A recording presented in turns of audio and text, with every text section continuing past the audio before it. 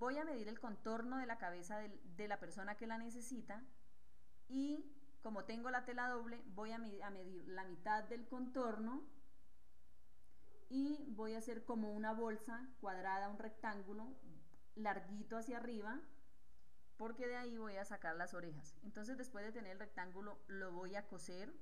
Después de tenerlo cosido como una bolsa de ladrones, lo voy a meter en la cabeza, en este caso es mi hija. Voy a marcarle acá la forma de la nariz y la forma de los ojos que eh, deben ser pues un poquito más grandes que los ojitos normales de ella porque va a ser un disfraz, una máscara de gato. No necesito marcar los dos, marcando uno es más que suficiente, pues después puedo doblar la tela por la mitad, por el otro, entonces remarco si es necesario eh, las líneas que acabé de hacer y voy a cortar.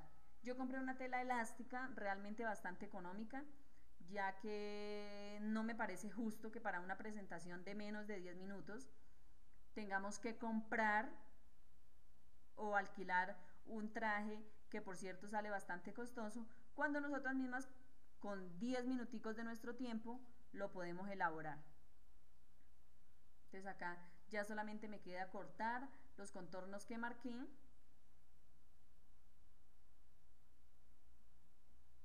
y ahí va saliendo nuestra máscara.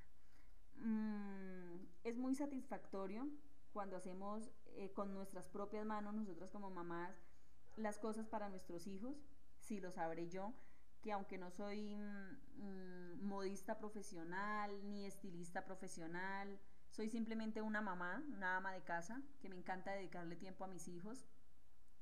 Cada vez que tienen eh, una presentación o algo así que en lo cual tengan que disfrazarse, entonces me gusta teniendo la máquina de coser ahí hacerle utilidad y hacerle sus cosas y realmente la cara de satisfacción que muestran nuestros hijos es una cosa que nos va a llenar para siempre. Bien, nuevamente le pongo entonces la máscara a mi hija y acá donde les tengo el dedo, donde tengo el dedo, es hasta, ahí, esa va a ser pues la costura que va a llevar en la parte superior de la cabeza, para que no quede larga ni quede bolsuda hacia arriba.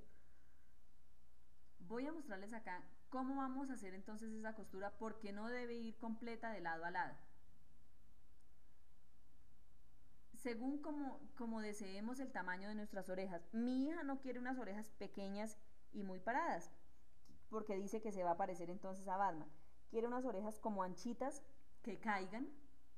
Entonces por eso las voy a hacer anchas para que queden bolsuditas.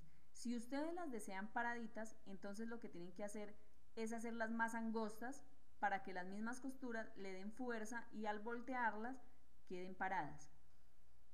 Entonces como yo ya marqué acá esto, voy a pasar la máquina, voy a hacer la costura.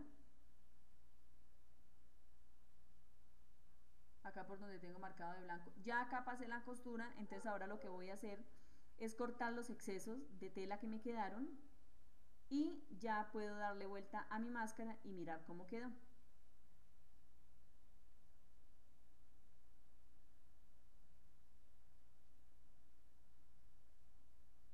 Saco bien las orejitas.